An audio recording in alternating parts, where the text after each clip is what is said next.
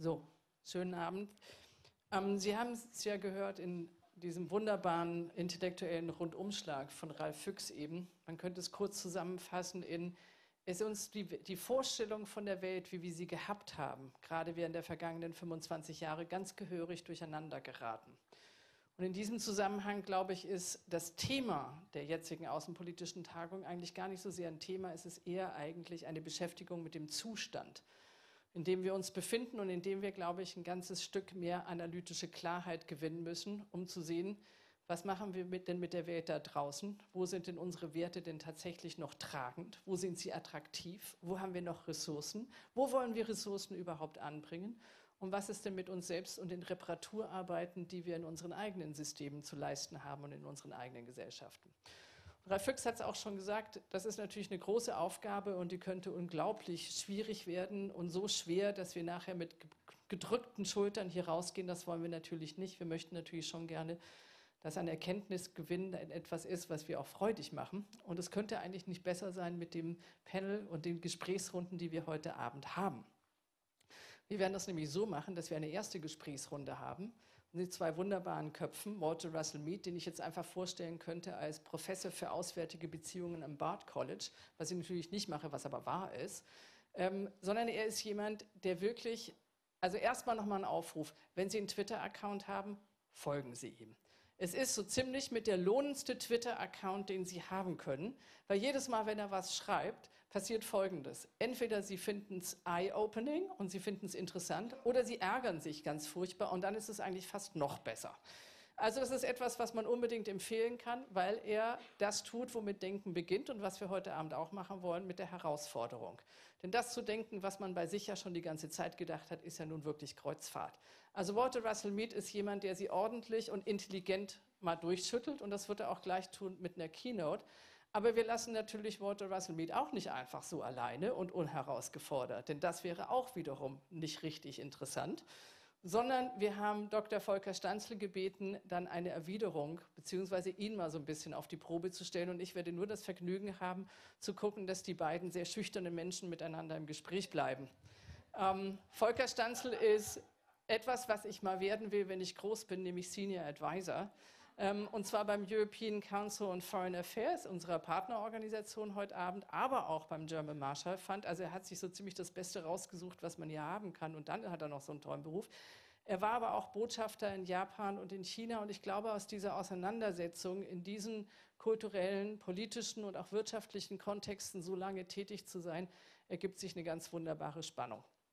Ich darf Ihnen aber auch gleich sagen, wen Sie in der zweiten Runde kriegen, nämlich Professor Herfried Münkler, den ich schon ein oder zweimal hier bei einer außenpolitischen Jahrestagung erlebt habe. Und ich kann nur sagen, meine Güte, hat er das Publikum durcheinander geschüttelt und das war höchst vergnüglich, weil er intelligent ist, weil er to the point ist und weil er gute Ideen hat. Und die wollen wir natürlich dann auch auf den Prüfstand stellen und dafür haben wir uns natürlich auch jemanden ausgedacht, der wirklich auch äh, ein guter Durchschüttler ist oder in diesem Fall eine Durchschüttlerin. Sie sehen ich habe es mit den politisch korrekten Bezeichnungen nicht immer so, nämlich Konstanze Stelzenmüller, die derzeit ähm, Senior Fellow ist am Brookings Institute in uh, Washington. So, jetzt aber erstmal hier genug. Jetzt darf ich Walter Russell Mead auf die Bühne bitten. Und bitte, Walter, lassen Sie uns an Ihren Ideen teilhaben. Danke.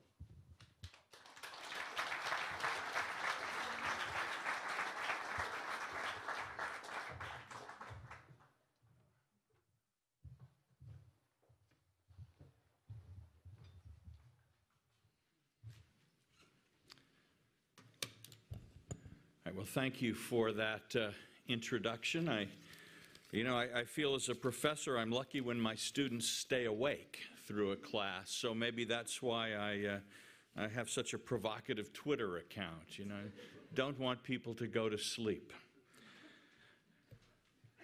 Um, well, I wrote a piece about a year or so ago on the, geopo- the return of geopolitics. Um, and I have been thinking about the subject since then, and I'm afraid that, that it feels to me that geopolitics continue uh, to emerge as, a, as one of the key drivers of international reality. And I have to tell you, that's bad. Uh, as someone who studies foreign policy, you like it when you feel that the world has some kind of a consensus. When my friend Francis Fukuyama talks about the end of history, the end of ideological competition, well, that sounds good. It means that in foreign policy, instead of having to worry about enemies and, and potential conflict, you can think about building institutions, reforming financial architectures, many of the kinds of things that, that we like, that, that are seen as directly making wor the world a better place. One can be progressive rather than defensive. Um, but in reality, when, when geopolitical competition enters, you often have to do both. You have to do both things at the same time. It's hard work. For example, in the time of the Soviet Union, the West didn't just think about, okay, let's have NATO, let's have enough armies to stop the Soviet Union, let's have enough missiles to stop the Soviet Union. Uh, at the same time, we also had to work on building the European Union as well as NATO, on, on developing as far as we could a prosperous Western world to defeat communism not simply by force of arms, which in a nuclear age in any case would be questionable, but the two tasks of trying to build a security architecture that could protect uh, a Western world, but then at the same time trying to develop the institutions and practices in the Western world that would make it better and worth defending. It was a complex, difficult task. And I'm afraid that, that we, are, we are going to be facing a more complicated and a more difficult world in which success will be more difficult and the penalty for failure will be more damaging. When I look at the world today, I see three great areas of significant geopolitical competition East Asia, the Middle East, and Eastern and Central Europe. And in each of those regions, we have a power, a great, in one case, a potential superpower, in another case, a former superpower and in the third case, an aspiring great power that wants to change the way the world works in their immediate neighborhood, that is not happy with the status quo and wants to change that. And in every case, the consequence of the changes that this power desires would have tremendous and largely negative implications for its neighbors and indeed for the art world architecture, for the, for the world order.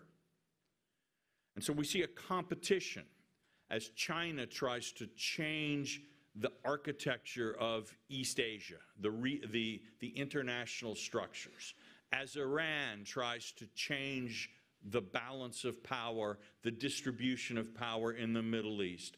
And of course, as Russia tries to change the situation in its own immediate neighborhood and also in, in other parts of Europe. Um, these powers do not work together all the time, or indeed very often.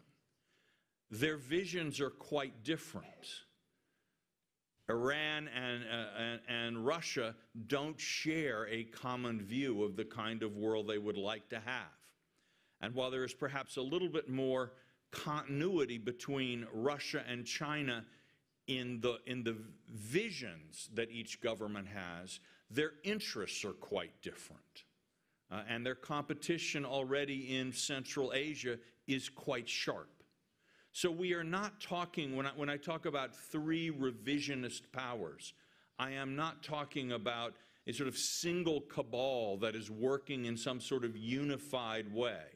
It's rather three quite independent and distinct processes going on that together create a, a you know, they, they have more effect together than each does apart, but they don't very often coordinate and they're not they're unlikely to do much better. So we think of them, uh, their effect on the world order is in some ways unified. The fact that all three of them have been making progress has contributed to the sense one has that the world order as a whole is under some kind of fun, is, is facing a fundamental challenge.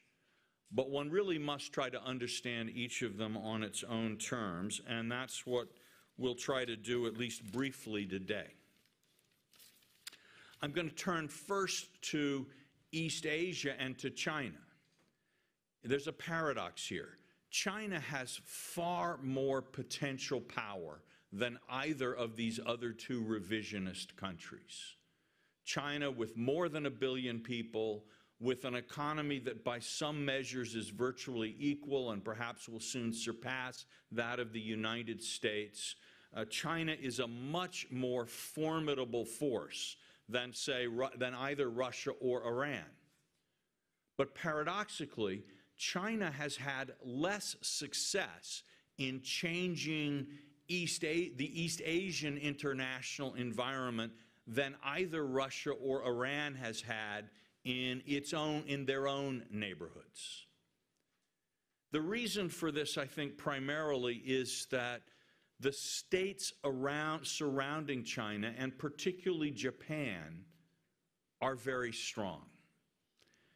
Sometimes people, you know, people will often try to make the comparison between China and, and the United States today and compare that to Germany and Britain in, say, 1910, where one was the rising power, one was the existing power, and some political scientists say and the clash was inevitable. But one of the differences between Wilhelmine Germany and today's China is that Wilhelmine Germany really was surrounded by powers who were or felt themselves to be in decline. Germany at that time was a rising power in a sea of decline. France felt that its the gap between it and Germany was growing every year. The Ottoman Empire, the Russians after their defeat by the Japanese in the revolution of 1905, the, the Austro-Hungarian monarchy, all of them felt that they were on a downhill slope. And that, that made the situation in Europe more unstable year after year. In Asia, yes, China feels itself to be a rising power, but Vietnam thinks of itself as a rising power and is. Indonesia, Australia, um, Japan, while it's not rising at the moment, seems to have stopped sinking, and Prime Minister Abe is trying to rejuvenate Japan.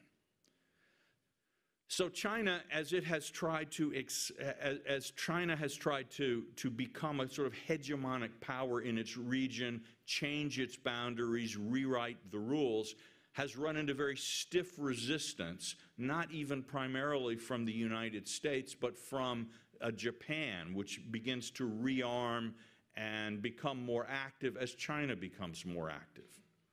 But this potentially is a very dangerous situation because Chinese public opinion says, you know, we are a great power, we are a superpower, and yet we can't even get the rest of the world to accept our nine dash line in the South China Sea. We can't even make a small pipsqueak country like Japan acknowledge that those islands are ours. We can't even get the United States, which is thousands of miles away, to accept our primacy right here in our own area. And this public dissatisfaction, shared by some, some parts of the elite, but certainly not by all, is potentially a very destabilizing force. The second area to talk about is the Middle East. Um, and the Middle, in, in the Middle East, and paradoxically, Iran of these three revisionist powers has the least potential. It has the smallest population of Russia and China. Its state structure is more problematic, I think, than either the Russian or the Chinese, uh, or the Chinese, and it faces a great deal of hostility in its own neighborhood. But if we look at how much, let's not think about the nuclear talks at the moment, but if we just look at how much success Iran under sanctions and isolated because of the nuclear issue has been able to have in the Middle East, China should be green with envy.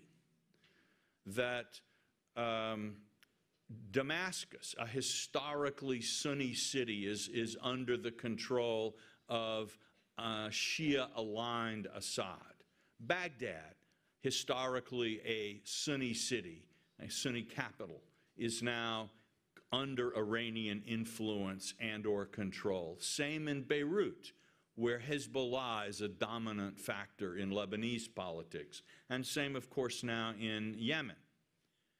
And so Iran, in some, in some sense, has, has enjoyed this sweep of success.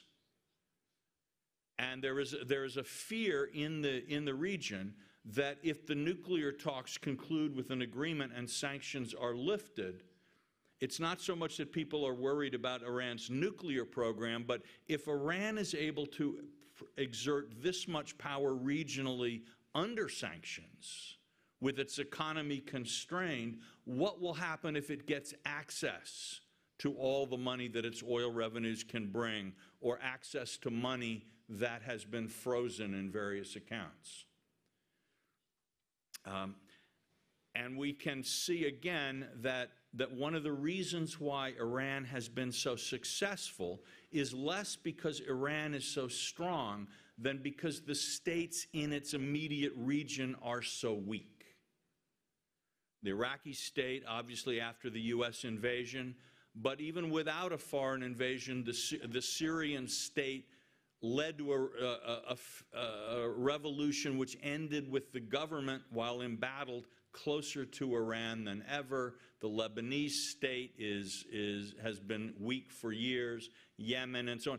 The fact that Iran is a relatively strong country in a zone of weak and, in some cases, crumbling states has enabled it to succeed in its objectives more than China, which is a very strong country, but in a world, in, in a region of very strong states to come to Russia, which is of more interest perhaps in Germany than, than some of the, uh, certainly than some of the ones that are farther away, and where the crisis is, where Germany is in some degree, like it or not, a protagonist in the crisis. Um, Putin, Putin's Russia is sort of in between. It has more potential than Iran, less potential than China, and it's had more success than China, but less success than Iran. Putin has not been able to transform his regional environment the way Iran has done, but Putin has certainly managed to put his imprint, make himself felt as a factor, perhaps more than China has done. Um, Again, we see part of the problem, uh, from our point of view, the problem is that Russia is surrounded or, or bordered by states that are weaker than Russia is. In the West, it's fashionable to talk about the corruption, the inefficiency of the Russian state. Certainly, Russia has not been able to achieve the kind of economic development or modernization that it hoped to achieve um, and that Putin hoped he would have, and compared to China, the performance has been terrible. And if your standard is, is it as well governed as Germany or France or even the United States, the answer would have to be no. But is it better governed than Ukraine or Belarus or most of the Central Asian republics? The answer would have to be yes. Um, Putin has built a state in Russia and that state is able to, is stronger than the quasi states surrounding it. You know, the, um, when communism collapsed, the Soviet Union collapsed, it was a little as if the king died in a feudal society with no successor, and then all the dukes and barons of that successor uh, in, in, that time, they fortify their castles. They basically declare their independence of the states. The oligarchs privatized the assets of the state and turned them from state assets into hereditable personal fiefs. And then Putin arose as the kind of oligarch of oligarchs and ultimately was able to break the other oligarchs bend them to his will, and now in Russia, you're rich, you're as rich as President Putin thinks you ought to be. And no one in Russia can really stand up against him. This never happened in Ukraine. You see, Ukraine, the Ukrainian state today is still not really supreme vis a vis the oligarchs and other interests of Ukraine. Putin has a stronger state. Like China, like Iran, Putin has very serious regional ambitions. And just as Iran finds itself in conflict with two U.S. allies, Saudi Arabia and Israel, and China finds itself in conflict with U.S. allies like Japan, um, Russia finds Germany and the German and the European system that Germany has worked so hard to build and in some ways leads is in his way.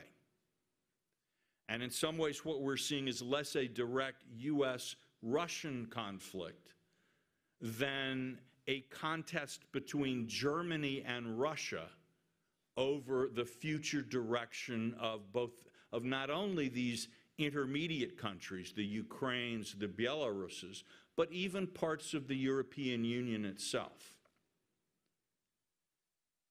And I would argue that Putin has, been, Putin has a clearer eye of some of the West's weaknesses in Europe than we may think.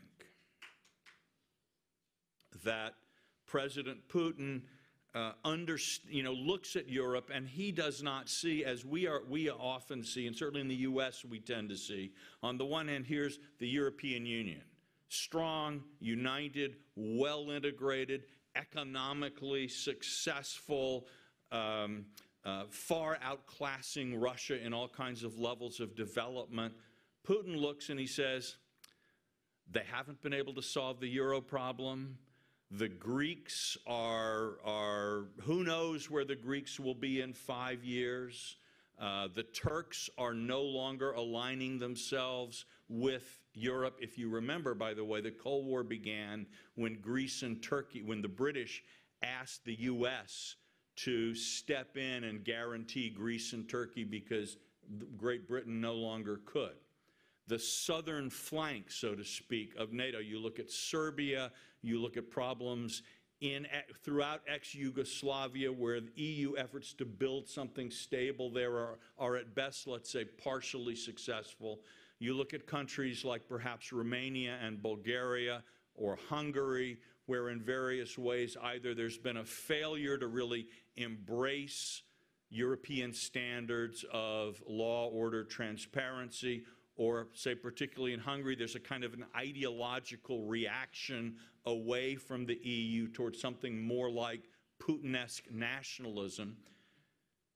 Putin sees something that is perhaps more divisible, less permanent than we would like to see it. Um, I'll give you a, a scenario that I, I think the Russians are thinking of. Suppose one day in Estonia, a Russian speaking district of Estonia, of which there are a number, some young men in their 20s, not in Russian army uniforms, but rather well trained and, and well armed for just a bunch of young kids, suddenly sort of appear and say this is now a liberated zone of Russian Estonia much as we saw happen in Ukraine. No border has been officially crossed. They sort of snuck across the border. There was no invasion. But now the government of a NATO ally has lost control of a portion of its own territory. And the Estonian government invokes the NATO treaty and says, defend us. We've been invaded. Does NATO at that point start a shooting war in Estonia? Only a few hundred kilometers from here? Do we accept a Russian presence in Estonia? What is the consequence of either of those two decisions? So it seems to me that we are in a more precarious place than we think, and that people in the Kremlin think long and hard about are there things we can do that they have no good counter for? But we should not underestimate their determination to change the direction of European politics and evolution in the Eastern and Central Europe. So, it's a bit of a grim picture. It's not, it's not 1914. It's not the beginning of a world war. It certainly doesn't mean that we need to sort of immediately put a wall of tanks and missiles on the eastern frontiers of NATO or the European Union. But it does, the combination of these threats, each of them different in character, but quite serious, and each of them potentially capable of setting off a very large scale war, is something that demands our attention. I think the West, we in the West, are going to have to be, become much more serious about geopolitics than we have been. That does not mean much more bellicose, and it certainly doesn't mean much, much more imprudent. But we will have to think much more carefully about what, are, what kinds of armed forces do we have? What's our capability when foreign, unfriendly foreign powers use cyber capacity, not simply, I may say, to listen to Chancellor Merkel's telephone calls, but to intervene much more fundamentally in the processes of the German state or other states. Cyber, the, the alliance of, of cyber attacks with geopolitical threat has created a new and, and, and even more dangerous situation. Well, that's, that's enough gloomy talk for now. I'm sure that there will be people here who can give a much more hopeful view of the world, and I am eagerly waiting to be convinced because I would like to go home to New York with a song in my heart and not a care in the world. Thank you very much.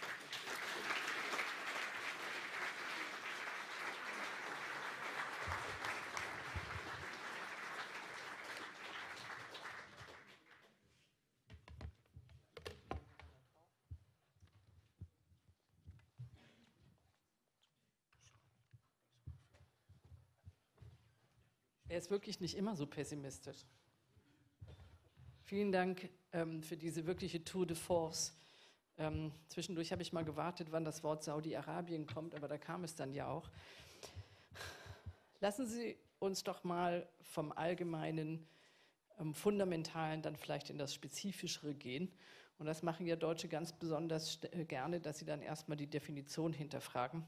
Herr Stanzel, vor einigen Jahren war es ja so, alles, was mit Geo anfing und nicht ungefähr mit äh, Graphie oder Logie aufhörte, sondern womöglich mit Politik, war in der Politologie relativ schnell im Giftschrank. Wir wollten uns mit Geopolitik oder gar einer Rückkehr der Geopolitik so gerne nicht beschäftigen. Also fangen wir doch mal mit der Fundamentalgeschichte an. Hat er denn recht, der Walter Russell Mead, wenn er sagt, Geopolitik, die Rückkehr der Geopolitik zeichnet sich so sehr ab?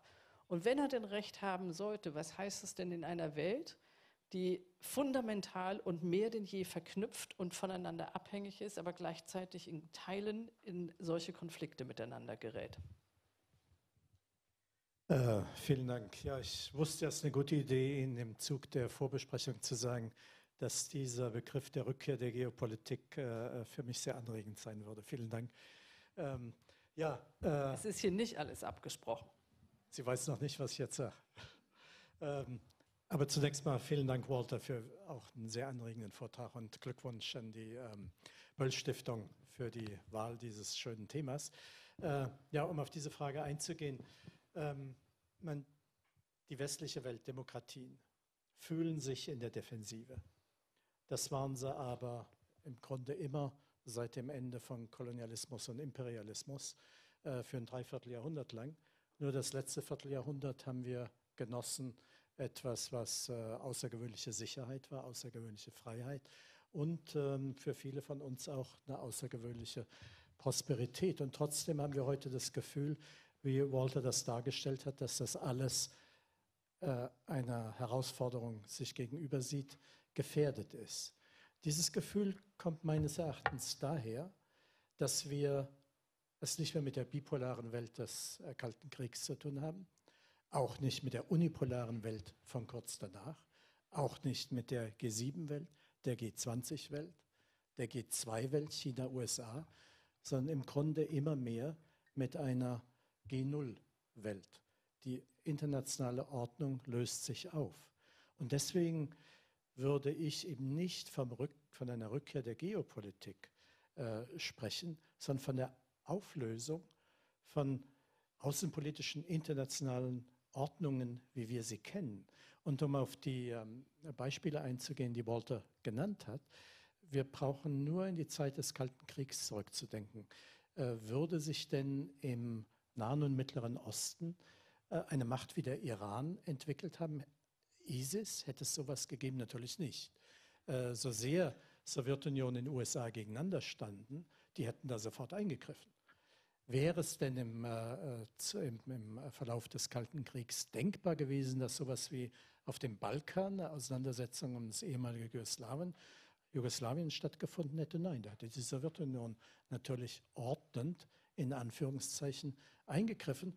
Und in Ostasien, dass da auf einmal eine neue Weltmacht entsteht, hätten die beiden anderen das wirklich zugelassen.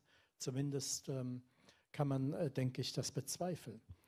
Ähm, Jetzt denke ich aber nicht, dass die Ursache für diese Auflösung von Ordnungen, wie wir sie kennen, und die Tatsache, dass wir eben nicht von Geopolitik sprechen können, dass die in diesen drei Regionen liegt, äh, so in dieser Weise, äh, wie du, Walter, das dargestellt hast. Also ich denke eher, es liegt an dem, was wir heute als die aufstrebenden Mächte bezeichnen, äh, die neuen Großmächte die entstehen. Und deren Zielsetzung ist nicht geopolitisch, sondern geoökonomisch. Gucken Sie sich Indien an. Was Modi macht, ist im Grunde nur die Zielsetzung der indischen Politik ökonomisch zu definieren. Und zwar auf dem ganzen Globus, weil er sich ja als äh, Mitwettbewerber äh, Chinas sieht. Und China äh, selbstverständlich ist etwas wie diese berühmte Seidenstraße-Initiative, die wir jetzt gerade erleben, äh, eine enorme geoökonomische Anstrengung, so eine Art Hinwendung nach Europa, um Europa von der Seite der USA wegzuführen. Und äh, Russland selbst hat bis auf jetzt die äh, Ukraine-Krise, Krim, Ukraine, das Verhalten in diesem Kontext, sich selbst auch nur rein ökonomisch und seine Bestrebungen ökonomisch definiert, auf der Grundlage seiner äh, Rohstoffexporte. Wir sehen uns also mit Mächten konfrontiert, die geoökonomische Zielsetzungen verfolgen und die gleichzeitig eine ganz andere Art von staatlichem Modell darstellen, nämlich das, was wir heute immer als den neuen Autoritarismus bezeichnen. Und das ist in der Tat etwas, das vielleicht sogar für viele von uns attraktiv zu sein scheint. Denn es funktioniert ja. Da sehen wir äh, alle diese Mächte kommen ja wirtschaftlich voran. Repression sorgt für Stabilität. Plutokratie und Oligarchie sind vielleicht ganz, ganz hässliche Dinge, aber die Mittelklasse in diesen Staaten profitiert davon. Und letzten Endes wir in unserem äh, äh, Austausch mit diesen Staaten auch. Also der Wert dieser, dieses neuen Autoritarismus stellt sich auch uns desorientierten Beobachtern in den demokratischen Staaten dar. Und das, denke ich, führt zu einer wirklich großen und zu einer doppelten Gefahr. Erstens, die, diese Versuchung, ist dieser neue Autoritarismus, wenn er doch funktioniert, ist der nicht wirklich vernünftig? Und zweitens, und das ist vielleicht noch schlimmer, was ist denn, wenn das nicht funktioniert? Wenn diese Staaten der eigenen Hybris erliegen? Wir haben das ja schon nach dem arabischen Frühling im Nahen Osten gesehen, was an die Stelle der autoritären Regimes dort getreten ist, bis hin zu ISIS. Was wäre denn mit Russland nach Putin? Und was wäre erst mit China nach Xi Jinping? Ich glaube also, wir haben hier wirklich äh, eine enorme Herausforderung in Gestalt dieser autoritären Regime. Jetzt habe ich mich auf die äh, äh, Sitzung heute vorbereitet, indem ich auch den Artikel von ähm, ja Walter. Na, diesen Satz möchte ich unbedingt Aber noch gerne. loswerden, denn ich habe extra den Artikel in äh, Foreign Affairs gelesen und da endet Walter äh, mit dem Begriff Twilight of History äh, im Zwiel, in der, in der Dämmerung der äh, Geschichte. Und das ist etwas, wo ich wirklich einer Meinung mit ihm bin, wobei ich sagen muss, dass Geschichte sich wieder aus Sicht des Praktikers immer ziemlich in Dämmerung und im Trüben entwickelt. Dankeschön. Dankeschön. Wobei man vielleicht noch dazu sagen darf, wenn ich das ergänzen darf, soweit ich das erinnere, reitet ähm, in diesem Foreign Affairs Artikel sind es eher die Autokraten, die in die Dämmerung reiten und für die Dämmerung anbricht und nicht unbedingt die Demokratien. Stimmt das? Aber ich will noch mal den größeren Bogen hier nehmen, denn Volker Stanzel geht ja her und sagt, es geht eigentlich hauptsächlich um Geoökonomie. Es geht um den wirtschaftlichen Aufschwung von Mächten, die unsere Weltordnung so durcheinanderrütteln, dass eben keine Ordnung dabei bleibt. Ich würde aber gerne noch mal die ideologische Komponente mit reinbringen, denn die scheint mir nicht ganz unwichtig zu sein. Für China könnte das durchaus richtig sein. Für Russland in einer Situation, in der Russland einen Krieg mitfinanziert und mitsteuert, der ihm enorme wirtschaftliche Nachteile bringt, in Form von Sanktionen, aber noch schlimmer in Form von einer ausgesetzten Modernisierung der eigenen Wirtschaft. Für Iran, das momentan im Grunde genommen an wirtschaftlichem Modell nicht sehr viel herbringt, das ist die größte Diskussion innerhalb Iran. Für die IS, die eine ganze Menge junge Leute in Kampfgebiete anzieht oder zumindest Attraktivität, ich glaube, die haben noch nicht mal ein Wirtschaftsmodell, geschweige denn wollen sie irgendwie in irgendetwas in Richtung geoökonomische Power sein. Ich glaube, sie möchten in jeglicher Hinsicht eine ideologische Power sein. Die Frage also, ist die Ideologie denn wirklich so unwichtig? Ist es tatsächlich nur, nur in Anführungsstrichen die Geoökonomie, die wir sehen, oder ist es tatsächlich die Geopolitik? Well, I think it's it's not either or. Um, you can you can use you know certainly British history and American history would suggest that a successful geoeconomic strategy is an excellent foundation for a successful geopolitical strategy. So Britain's habit of having colonies and networks worldwide while the European countries were balanced one against each other was an integrated economic and political strategy, and it worked for them very well for a long time. Um, I would say that, that for Putin, his economic and political strategies are somewhat meshed. Certainly for the Iranians, there's a belief that the Arab countries, the Sunni Arab countries, are now so weak and so divided that Iran really has an opportunity to become dominant in what they know of as the Persian Gulf. And that if they achieve that kind of dominance, then Iran could add, Iran could add the oil power of Saudi Arabia, Iraq, and Iran, as well as Kuwait, Bahrain, and, and other states, and, and be as one country a great power because it would control the energy future of the world. That's an integrated geopolitical, geoeconomic strategy. And it is, it's a rather dangerous one, but it's a vision that many people in Iran and not merely religious fundamentalists share. So there, there can be a, a geoeconomic goal that works with a geopolitical goal, and then if you add an ideological fervor to that, so you have some sort of messianic religious fundamentalist belief animating you, and you see in your in the rise of your regional power the weakness of your enemies, you see the hand of God blessing you, uh, it all works together.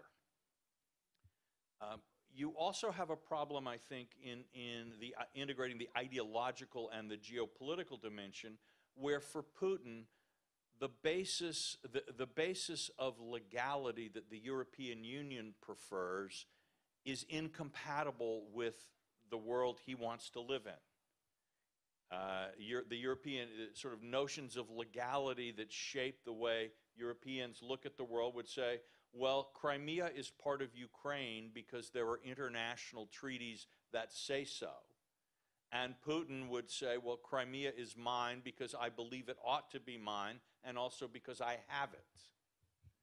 And those, those two ways of thinking about the world are actually not easily very compatible.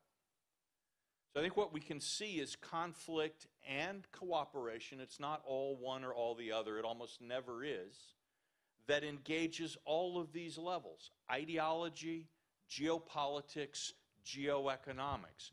And the system that involves all three of them is very complicated. You have to analyze each of these factors on its own, and then you have to analyze the system and how they interact. But I think that's how it works. Ja, also, äh, Okay. Bitte sagen Sie es ruhig. also wenn wir äh, uns umschauen, was ist die verbreitetste Ideologie, insbesondere in den aufsteigenden Mächten, das ist Geld und Macht oder umgekehrt. Ob das in Indien so ist oder in China oder Russland. Eine Ausnahme würde vielleicht auch Iran. Eine Ausnahme ist natürlich der ISIS. Das äh, also Islamische Staat sicher ist eine von Ideologie herange, äh, vorangetriebene äh, Organisation. Äh, aber in China hier ist der Nationalismus ein Instrument von Machtpolitik und von innenpolitischem Machterhalt geworden. Das Gleiche kann man mit Sicherheit äh, für Putin und Russland sagen. Walter hat völlig recht, wenn er vom Ineinandergreifen ökonomischer und machtpolitischer Interessen spricht. Selbstverständlich.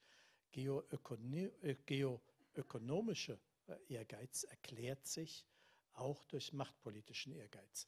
Das äh, greift ineinander. Aber Ideologie als einen der große, eine der großen Antriebskräfte der Veränderungen in der Welt heute zu begreifen, glaube ich, würde zu kurz greifen.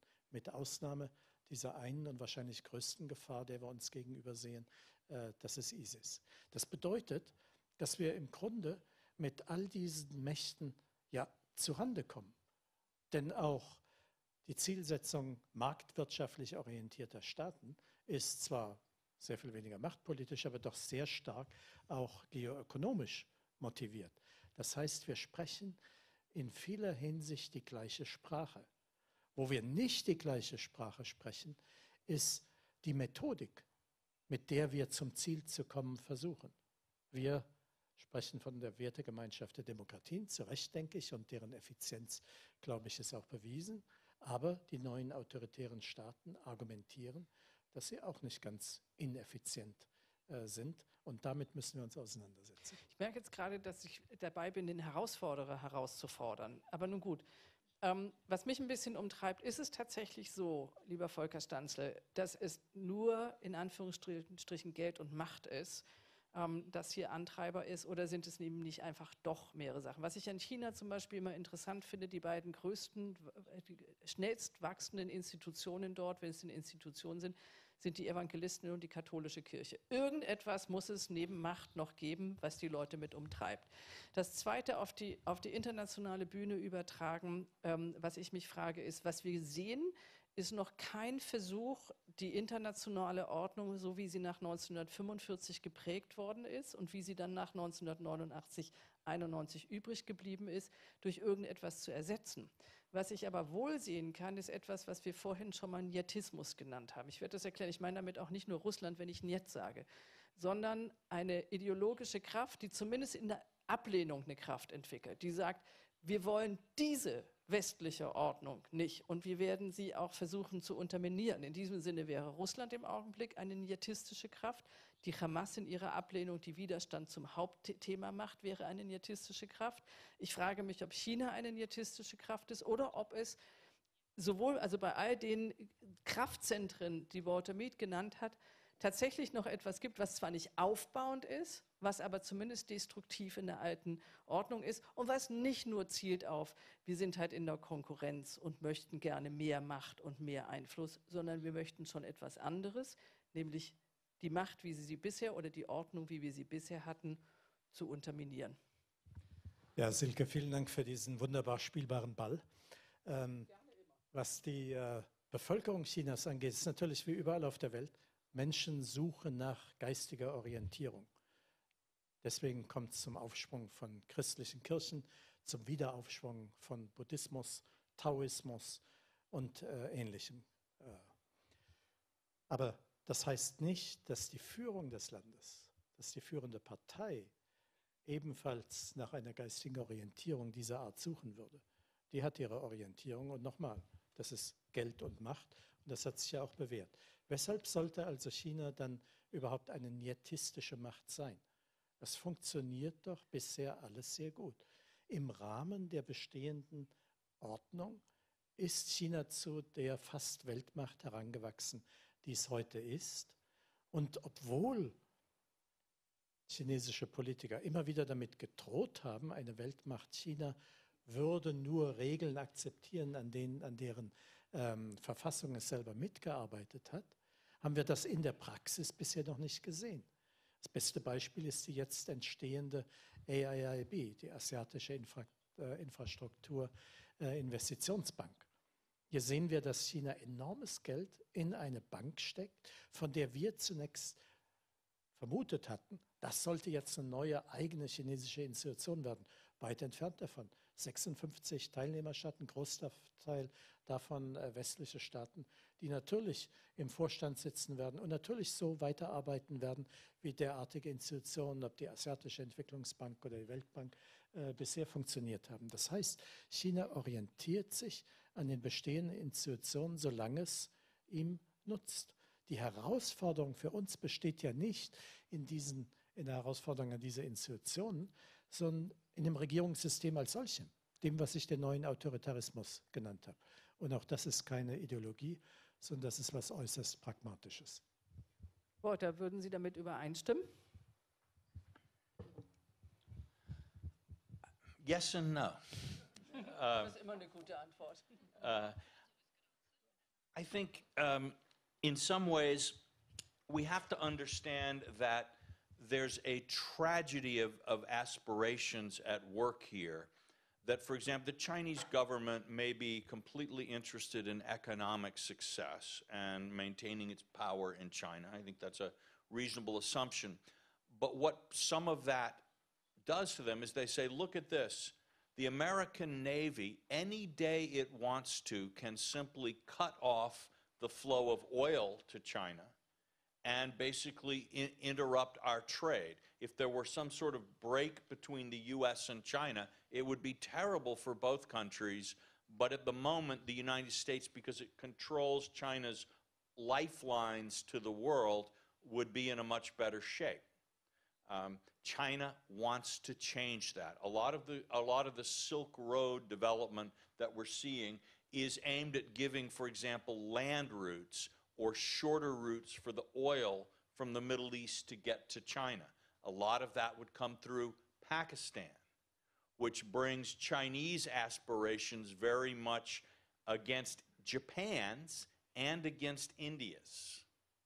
Um, and ties Japan, uh, sorry, ties China more into the very, very, very dangerous uh, rivalry between India and Pakistan, where a number of people in the Pakistani uh, uh, ruling establishment have quite messianic views. So again, we get a conflict of economic interests leading to geopolitical conflict, but then getting us into the ideological conflict between the idea of India and the idea of Pakistan and the Muslim struggle versus the Hindu and so on. Um, it is, it's explosive.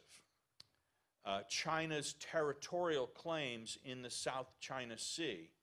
Again, these are probably driven part by nationalism, part by practicality. But if China were able to assert its claims and really be able to fortify those, those artificial islands that it's been digging. 40% of the world's trade passes through those seas, and it's Japan's lifeline. Uh, if China succeeds in this from a Japanese point of view, there'll be a Chinese foot on Japan's throat.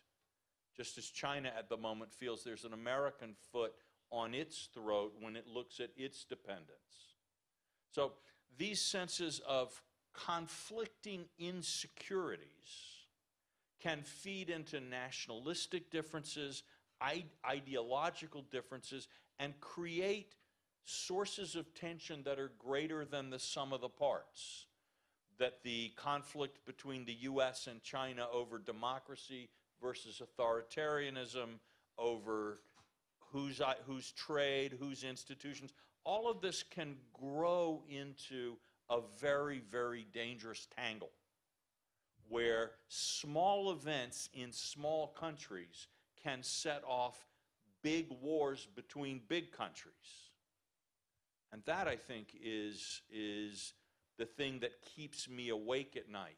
The ideological differences play a role, but they would be more manageable if they didn't intersect with and sometimes overlap with these others. And together, they create a lot of trouble for all of us. Ich fürchte, es ist hier nicht so richtig gelungen, Watermeet in irgendeine Form, in eine etwas optimistischere Schiene zu sch- schieben. Ähm, es ist immer noch ein bisschen gloomy hier, aber wahrscheinlich auch ähm, ein sehr realistisches Assessment dessen, was wir da draußen haben. Ich weiß, wir könnten an dieser Stelle genau diese Punkte noch weiter diskutieren. Aber die Frage taucht ja auf, ob wir es in dieser Weltsituation, die hier beschrieben worden ist, nicht auch mit Bestrebungen ha- zu tun haben, die neoimperial sind. Und weil wir uns diese Frage stellen, wollen wir jetzt dazu gerne auch Professor Münkler hören. Wir werden jetzt hier mal die Bühne räumen und selbige Professor Münkler überlassen.